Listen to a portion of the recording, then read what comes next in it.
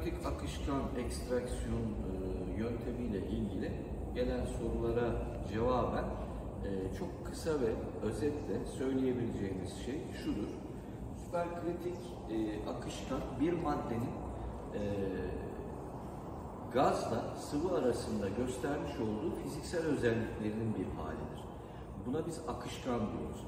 Ee, genelde bitkisel ekstraksiyon işlemlerinde toksik çözücü kullanmak yerine karbondioksit gazını süperkritik koşullara çıkartarak akışkan formunda bitkilerden e, temas ettirerek ekstraktörlerden geçirmek suretiyle e, özütlememizi tamamlar.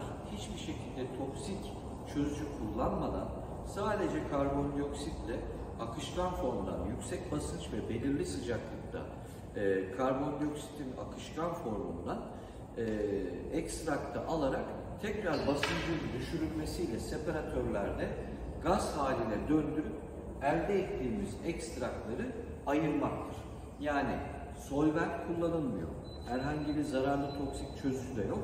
E, tamamen doğal, hiçbir başka bir şeyle temas etmeden, kontamine olmadan, havayla da temas etmeden çok daha uzun raf ömürlü, katma değeri yüksek, zengin içeriğe sahip ve yüksek verimde ekstraklar elde etmek mümkündür.